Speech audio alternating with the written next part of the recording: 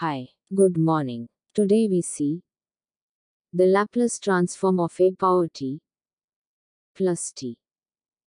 Using the linear property, split the function.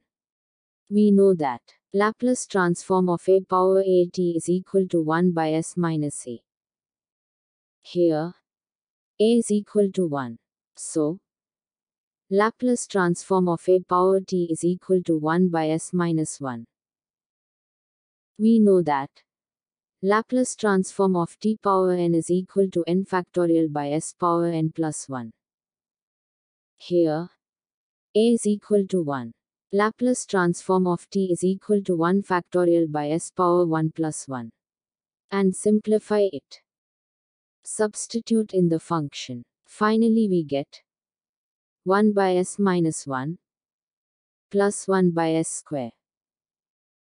Thanks for listening the class. For more notes, follow my blogger. See you soon. Have a nice day.